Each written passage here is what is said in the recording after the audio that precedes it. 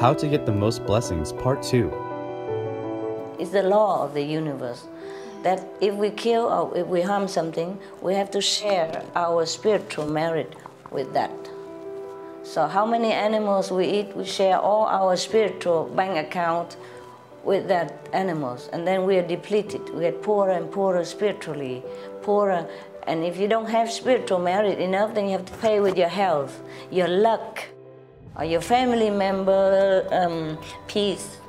And then larger, we pay with peace in the world. We have to pay the price for having no peace.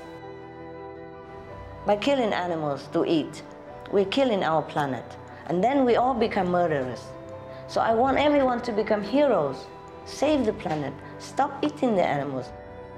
If people turn to veganism this time, is because to save the planet. That means to save lives, not only animals' lives, but the earth life and the humans' lives, you know, billions of us. In this case, their merit is immense.